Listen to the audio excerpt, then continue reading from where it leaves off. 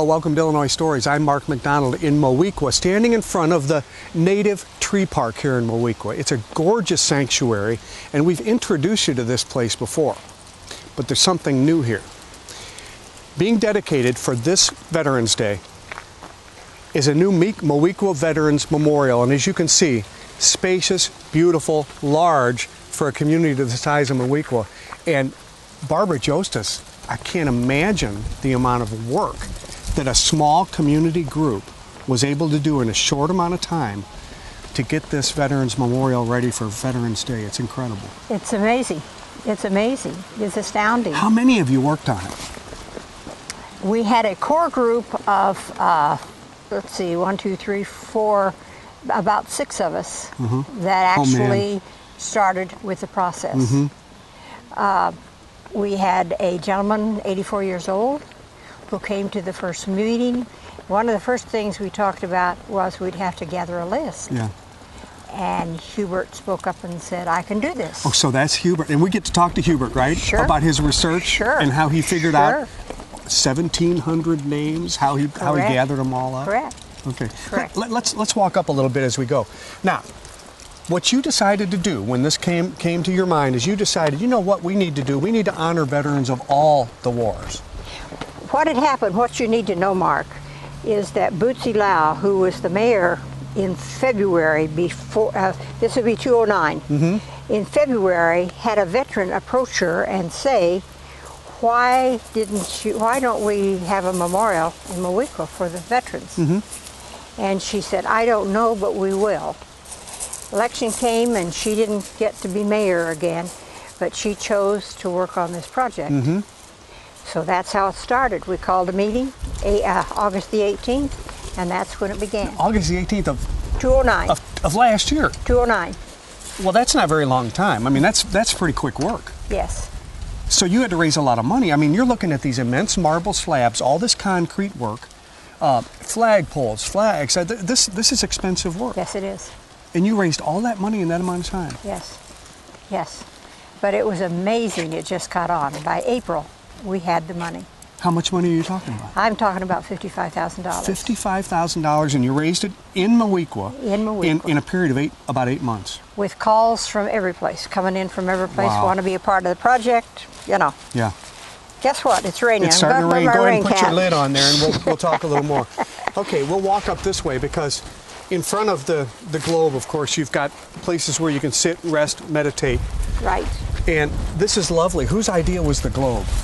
Uh, it was a joint joint effort, Mm-hmm. a decision among uh, among the members, and we also had uh, townspeople who attended the meetings, and they looked at everything. We showed them everything we had, and Mm-hmm. and they all seemed to think this was the way to go. Honoring those who have served, honoring those Who who, will, will serve. serve. So this is an expandable memorial. Absolutely. The plan is to continue. Absolutely. God forbid that we have more veterans. Uh, but we have a standing them. army, so we have. I mean, Sure. we have a standing service, so we have uh, kids that are in Mm-hmm. service all the time. We presently know that we have 30, which will be honored Sunday. Yeah. Yeah. Is that That's right? Part of our dedication. Wow. Yeah. Okay, so when this is dedicated, you'll have 30 individuals who are presently in the service. Yes. Will some of them get to be here? I'm not sure. I sure hope so. Wouldn't that be nice? I'm hoping to see Yeah. uniforms Wouldn't that with be young great? people. Yeah. Okay. Now, talk about raising money. Off to our side over here, take a look down here. Right. These blocks Right. uh, cost a certain amount of money Five hundred dollars. $500 each. Yes. And I heard that, tell me, correct me if I'm right or wrong, that you've already sold out your $500 Mary Ann blocks. tells us we're, we've sold them all. So yes. everybody's very generous on this project, Yes. Yes. Yes. It's amazing. Just amazing. You know, I think you should make room for more $500 blocks. We probably Certainly, if will. you're going to expand this memorial to include other people, you're going to need more money, right? Look, there's rock. We can do it. That, there- that's right. There's right. You, you have places where you can put it, don't you? Correct. Also, on the outside, and we're going to take a look at these too. You have blocks on these on these walls on the perimeter. Correct. And you can see that on those, there's there's places too for people to donate, Absolutely. remember their loved ones, Yes. and contribute to this memorial. Yes. During this program, we've got the lady whose husband designed this layout. Yes. She's going to show us the maps, the drawings that she worked from. Um, we also have, you mentioned Hubert. Yes. Hubert is a World War II veteran, a Yes. veteran of the Battle of the Bulge, Correct. who you put him on this thing and said, Hubert, find out who needs to be who needs to be named on this memorial, and he did it, didn't he? Yes, he did. Okay, we're going to talk to Hubert. You also have a guest in town, a fellow who travels around to events and puts up American flags where he thinks it's suitable to Correct. do so. Correct. Tell me a little bit more about him. Um, he had he had decorated Mount Zion, which is over northeast from here, Decatur, and Yeah, then Mount uh-huh. Zion's east of there. And uh, he had decorated there for a veteran by the name of Tilton. I think that was his name. And um so some of us happened to be in the Mount Zion area and saw these flags just all the way decorated all the way to the to the cemetery. It was just beautiful. Just it just made you stop and grab your heart. It was just beautiful. And so uh, I called Mount Zion and asked them if they could give me his name. They knew his name and they knew his phone number, and I contacted him on Monday after him having been in Mount Zion, and he said, "Yes, Barbara, I will come."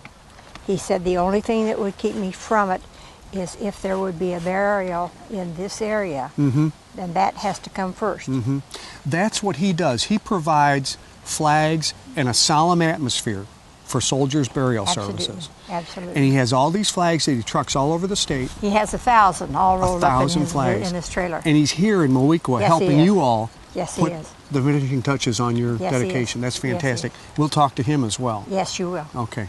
Thank you. Thank you.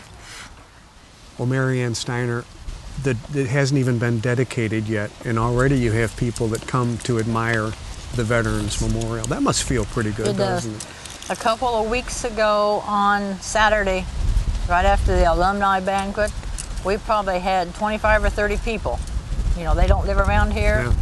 Of course, it wasn't finished, but they Yeah. were here Yeah. looking at it. It's you know it, they're still putting the finishing touches on it. They're trying to put you know get some grass to grow up around it, and Uh-huh. and there's a few things, some caulking and stuff that needs to be done. But Yes. but you can tell very well what it's going to look like and what right. it's going to be. huh? Mm-hmm. Some of this has to settle with the ground. That's the reason we haven't really settled these right here in mm-hmm. front, the big ones, because we need to let it kind of settle on its mm-hmm. own. And then the memorial company is going to come back and level out probably in the spring after it sets for the winter. Mm-hmm. We don't want to Yeah. do something we don't want to. For so. sure, for sure. Um, but people have been so generous. Yes, they have. Um, yes. You've sold out those $500 blocks. And you were already planning where to put some more. yes, I am. yes, I am. You're already planning, I can tell. Um, you and your husband worked very hard on this project. Yes, we. Uh-huh. And, and unfortunately, it was one of the last things he would do. Uh-huh. He, he passed away since then. Um, but you are left with one of his drawings. He started, he drew out, mapped out what this was going to look Yes, like. And. I'm going to take that from you if I can, and I'll be very careful with it because Okay. I know it's somewhat fragile. And this wind is the devil today, so we're just going to sort of. Uh, but this is some of the work that your husband did. He was very detailed. Where everything was supposed to set, the benches that we're on, you can see they're here. Mm-hmm. We got the blocks that's here. He did this all just out of his head, didn't he? Uh huh. Yes, he did. He came out, I guess he measured the area and decided this is what the Yes. interior of it should look like. We knew how much space there was out here, and we wanted to fill the space, so mm-hmm. we got on a big piece of paper Yeah. and started in. yeah, it's it's a really it's a really nice design too. It's one thing to fill up the space, but to have a to have a, a sense for what Mm-hmm. Yes. really belongs in a memorial. Yes. Memorials are very delicate That's right, things. I mean, I don't know if you've noticed this one concrete here. We've fixed it so later on, if we have to, we can add more with sure. wars that may be coming up. They can continue on to the east yeah, here with all yeah, this. you do have you have room to grow. Yes, yes. Um, now, when you and your husband were planning this, you uh, you did a little bit of traveling, didn't Yes, you? Yes, we did. Why was that? Well, we wanted to see what some of the other towns had to kind of get an idea, and that way, kind of wanted to see what we were getting into. Mm-hmm, mm-hmm. And I think what we've got into, I think he'd be very happy with it. What uh, what local veterans memorials impressed you? Well, I was down to Hillsboro. I've been to Litchfields. I've been to Sturts and Strasburg. over to Arcola. We've been around. Yeah, yeah. Which ones did you like? Well, I liked them all. I mean, there's none of them that you could narrow Yeah. down. I mean, they're all nice. You know, I've seen a lot of them too in my travels, but this one for a town this size is Right. remarkable. It is. It is. That's what everybody tells us. That you know, for the size of Moweaqua, It's really nice what Yeah. you've got together. Yeah, 1,700 people. are- 1,700 are names. Mm-hmm. memorialized in this in this uh, uh, Veterans Memorial. Yes. and and likely there will be more, but that seems like an awful large number. Mm-hmm. How did you how did you determine that who should be included? Well, we used everybody that lives, lived, or is living in Moweaqua at this time. Mm-hmm. If we've missed somebody, just let me know because we're going to engrave Yeah. some more in April or May next year. And all they have to do is pick up a form. They can either get them at City Hall or I'll have them at the dedication Sunday. And if there's a name that's not on here, we will get it on here the next time through. I'm going to put those in alphabetical order as we have to add to. Mm-hmm. Mm-hmm. So Yeah. that's our plans. Yeah. Well, good luck. Mm-hmm. It's a heck of a job. Yes, it is. but I'm about to get it accomplished. You're about I to think. get it done. Yeah. Okay. That's what I told Barb this morning. We're about to get to the end of this. So, but Barb and I have worked with it quite a bit together. Thank Yeah. you. Thank you very much. Hubert Cox, you're a, a veteran of World War II, Yes. and you got in on this project probably right from the beginning, didn't you? I was at the first meeting they had in October. And you probably wondered, what have I gotten myself into? I kind of wondered, but I had a grandson that was good on the computer too. Mm-hmm. And we set up a program to take care of these names and list all of them. Okay, I'm gonna I'm gonna bring everybody up to speed on what you're talking about now because I've got in my hand all the names you're talking Yeah. about. Somebody, when you had the idea of, of building a, this monument to people who served, somebody had to determine whose names were going to be on there. And it's not that easy, is it? Because you don't just go through old newspaper clips and find out everybody from No. That served. That's a monumental task. Well, we just connected with everyone in Moweaqua and gathered names of people that had had a connection with Moweaqua, teachers and uh, uh, teachers of the schools and all, Mhm. and uh, it just all come together. Mm-hmm. We put these slips out to be filled out, and we had real good response. The people were real good about helping out. So you had a form and you asked everybody in Moweaqua to fill out, if there was a family member or someone they Yeah. knew, to fill out who that uh, service person was, Oh yes. when they served, and then you had to verify and confirm all that. Yes. Which was, that's where the computer comes in, isn't it? That's where the computer comes Okay, in. Okay, I want to show the, the list that you were working from here. And uh, this is just one of, let's see how many pages we got here. oh, we got uh, 48 Uh, pages. You already know how many pages 48 pages, okay. And this is from all wars from the Black Hawk War From the War of 1812. for the War of 1812. Yes. Okay, then to the Black Hawk War, and then on to Iraqi freedom, which is Right. still going on. It's still going on. And you came up with 1,700, yes. more than 1,700 More than individuals. 1,700 names. Yeah. Were you surprised I was very much surprised. a town this size? Our population is about 1,900. I couldn't believe there was Yeah. as many served as we have here. Fantastic. And uh, and you're still finding uh, Oh, yes. people that belong I'm on still, here, right? I've got a list of um, list of about 23 now that has to be added. I'll be darned. I'll be darned. Well, listen, I'd like to ask you to come back with me to the World War II Memorial. That's where your name is, Yes. okay? And we're going to talk a little bit about about you and, and your experience. I want you, if you would, to show us show us where uh, Hubert Cox's name is on this All right. on this monument. And I'll bet you know a lot of those fellas, don't you, that are on I know, or have had connection with the majority of them that are my age or younger. Uh huh.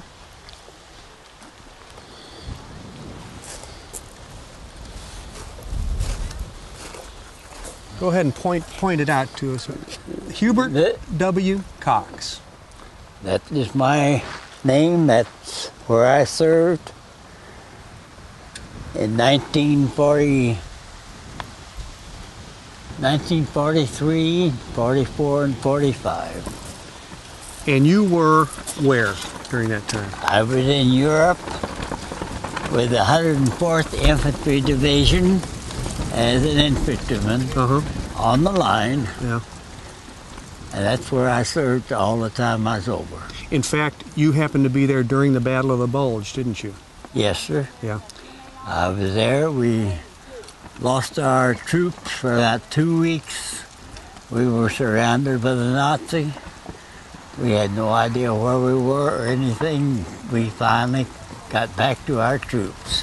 How did they find you, or how did you find them? It was a wooded area, and they were keep searching because our whole company was missing, and they were looking for our company. They found us bivouacked out in that wooded area there. You followed them out, Yes, and you were, like you say, surrounded by Nazis. yes. They must have uh, sacrificed life and limb to get in to get you, because I assume that you'd have been you'd have been lunch for the oh, Nazis. yes, we would have been. Yeah. And then we went we went on from there and opened the detention camp in Nordhausen where the Jews were Yeah. murdered. That was a terrific sight. I'll bet it was. You, in fact, what you got to do, you got the opportunity to be saved, and then to go liberate other people. That must have been a wonderful feeling. It was. And I have most respect for my people who were in charge of us and all that. They were wonderful to work with. And our commanding officer was Terry Allen, later become the mayor of El Paso, Texas. Hey, And he was uh, he was our com- Yeah. our commander. well, they never forgot you. They stuck with you. They found you. They got you out of there. Yes. Uh, it's possible they, you know, that you could have been just left for, left for Oh nothing. yes, we could have Yeah, been, good for you. but they knew the company was in there somewhere. That's wonderful. What a great story. Well, I'm proud of it, and I'm proud of this monument being built. You should be. Well, Larry Eckhart, this is really a phenomenal thing. We're looking down this country road, the one that leads up to the monument from the highway, and you and these veterans have put up this avenue of flags. It's going to be outstanding. Oh yeah, uh, the most important ones are them guys back there. I mean, number one word you mentioned was the veterans, and they are. They, some, you know, you would think that they would feel like they'd served their time. They didn't have to do any more work. And the veterans come out no matter where I go. I have veterans, veterans and young people, and to me, it's just fantastic. How many flags are you all going to put up? Uh, I'm guessing somewhere around about 700. Wow. You know, I've got I've got a thousand. We did finally hit a 1000 Uh, we did Mount Zion. Young man up there, Mr. Tilton, we did him about three, four weeks ago. Matter of fact, it's been almost two months ago. Uh-huh. And we got enough donations. We can go ahead and get the rest of our flags. So we got a thousand. The people up there were just fantastic to work And, with. and this is this is what you do. You, you're you're you're a guy with flags, and you go to military funerals, and, and you go around to events like this, and you just provide solemnity, the, the uh, patriotic and Well, the thing is, is I mean, no town can afford to have a thousand flags to use maybe once or twice. They just can't afford it. yeah. Uh, and with me taking them all over the state, it works out pretty good. It works out pretty good. And to me, to be truthful, I'll never have enough flags for a funeral. I don't care if I put up a thousand flags. To me, there should be another thousand because you got young men. The la- two out of the last three I've done have been 19-year-old Marines. Yeah. You know, they never got a chance to live. Heck, they couldn't even get a drink in this country legally. Yeah. Yeah. And yet again, they got killed. Yeah. So, I mean, how do you pay? How do you repay something like that? The Patriot Guard's got a coin they put out for some of the families, and it says a national debt that can never be repaid, and that's what we've got. We've got, a, you know, we've got a tremendous debt that we can never repay. Yeah. So, I, this is the least I can do. It's interesting here the process here. They they dig the holes with these. Uh, well, I guess yeah. They Yeah, just puncture a, it and then you, That's a 25 pound piece of steel. Mm-hmm. And the ground is so hard now that we're having to use sledgehammers to get them in. yeah. It punches a one inch hole, nine inches deep, so we don't hit any wires or anything. And then the once after we pull the flags out, the first rain or two, that hole fills back in. Nobody Yeah. can ever tell we were here. Yeah. A thousand flags. Where did you come by a thousand flags? Uh, a few donations and out of out of my own pocket, but a few donations. The donations help a lot, Yeah. you know. But I don't want to stress that because that's not why I do it. Yeah. You know, Yeah. uh, it's to me it's an honor. It's an honor for these towns to ask, let me come in, Yeah. because they don't have to. You know, they don't even have to let me come in for a funeral, and the towns have always been so super. Yeah. What got you started into wanting to honor veterans this way? I mean, to, to take to take your flags to, to a funeral for a serviceman or a woman who died. What what got you started? We had a uh, young man get killed up near where I live. And I mean, the people were fantastic. There was probably 3,000 people showed up to welcome him back. I say welcome, you know, to see him come back, but there just wasn't that many flags. And I thought, nah, this isn't right. You know, the young man died for the flag. It should be there. So we started off with 50 flags, and we're up to a thousand now. Yeah. So. And you tra- you travel a lot. This Yeah. is probably what you do now. This is where you spend most of your time. Basically, between here, uh, I'm on the city council where I live, and I Uh-huh. run two apartment buildings. And where are you from? Little York, Illinois. Little York, Illinois. Where's that? Uh, you know where Galesburg is? Yep. 40 miles west of Galesburg. Okay. All right. A hop, skip, and a jump from the Mississippi. Yeah. But yeah, this to me, it's it's. I'm blessed. I mean, I'm not that religious, but I'll go into a town, and it doesn't matter how cold or how miserable it is. Troy, Illinois, last year we did a young man there. It was. I asked him to meet me at the church at eight o'clock in the morning. I pulled in a quarter till. It was four degrees with a 30 mile an hour wind. Uh, There was 12 people there, and I'm thinking, wow, this is gonna be a long day. By 8.15 we had 160 volunteers. We had three church buses two city squads a county squad and a city truck. You know the people just and and they don't know me from adam. Yeah. but they'll turn out and they'll bust their hump and they'll put up these flags and help me get them up. You can't beat the people. So it's really like I, like I try to tell everybody it's the people it's not me Yeah. i just i supply the flags Well, thank you for doing it. Oh, to me, it's an honor. It really is. It's a super honor for me to be allowed to do it. And it will be a pretty display for their for their memorial too, I think. And it's and it's a fitting tribute. You know, she said they the town started raising money for it last year and they've got it already. That says a lot for this mm-hmm. town. Says an awful lot for this town. Well, Malcolm Stewart, as we look down the Avenue of Flags from Highway 51 all the way into the new Veterans Memorial, Right. you were responsible for holding some of these flags and, and digging those holes, weren't you? Yeah, I had to spot where they went and then just hold the thing for them to hit it. The guys on the sledgehammer are doing the work. 32 years you were in the Navy, is that Yes, right? sir. Wow. And you're retired now, Yes, sir. but you served in two wars Yes, sir. and retired as lieutenant commander. Right. You must have really liked the Navy because you got out and got back in. That's right. I didn't like it. I loved it. You loved it. Yeah. Tell me, what do you think about this new Veterans Memorial? It is outstanding. It is really outstanding. And what's wonderful about it is that the veterans didn't really do it. That the other people in the community did it. The veterans are working right now, mm-hmm. but they did all this work. And for a small town, this is really an accomplishment. Yeah, yeah. And there's no taxpayer money in it, and it's all and it's paid for, and we're just really proud of it. It's interesting, you know, the most of the people that worked on that committee were not veterans. Right. The guy that does this these flags, not, He's a, not not, a- yeah. a veteran, mm-hmm. makes you feel good, doesn't it? Yes, sir. Yes, sir.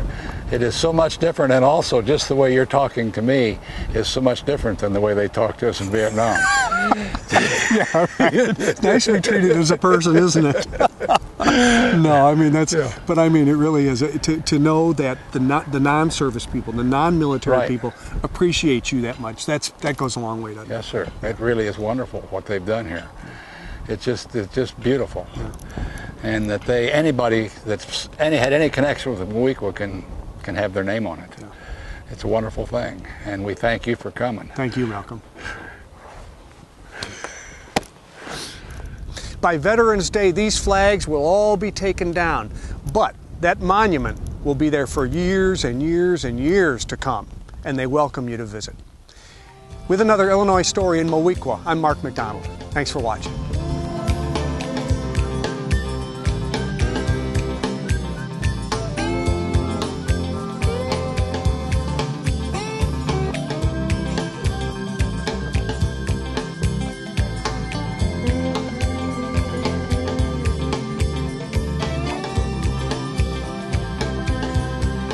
A DVD copy of this episode of Illinois Stories, send 1995 to Network Knowledge, P.O. Box 6248, Springfield, Illinois 62708. Be sure to include the program name, broadcast date, and topic. You may also order with your credit card by calling 800 232 3605 or by using our secure server by going online to networkknowledge.tv.